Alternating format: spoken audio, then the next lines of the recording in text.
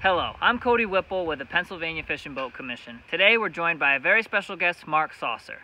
Mark is the Stream Habitat Section Chief, and in this video he's going to go over how they artificially created some of the ingredients you're looking for when you know you're at a cold, clean, healthy stream with good habitat.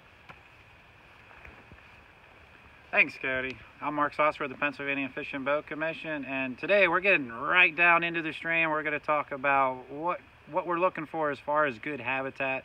Uh, habitat could be wood in the stream, but it's also what the stream is made up of itself. And there's three different regimes that we're looking for for the stream, and that's a riffle, run, pool regime.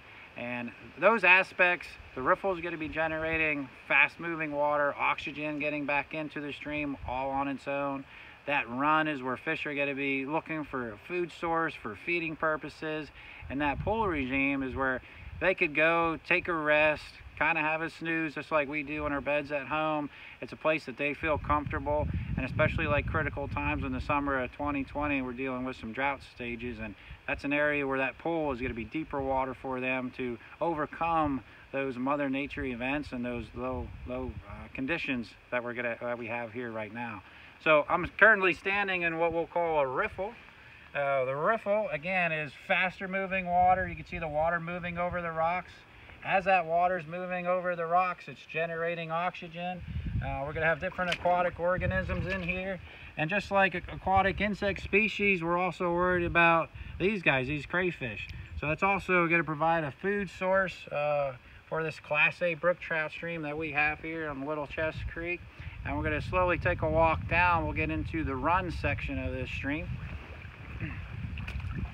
So again, the run is an area where it's not fast like that riffle. You're not going to see the water moving quite as much over those rocks, so it's an intermediate area of some uh, some moving water that also creates some depth, and this is where those trout are going to be feeding uh, in these run sections. This is where they can go in and, and catch some some aquatic life coming down through the stream.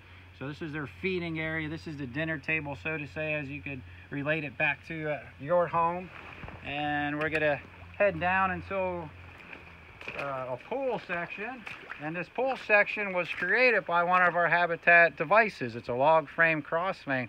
And this structure is, is, is built to generate pool habitat. So this section of Little Chess Creek was lacking that pool habitat. And again, this is a place where these fish are really utilizing this type of habitat structure right now.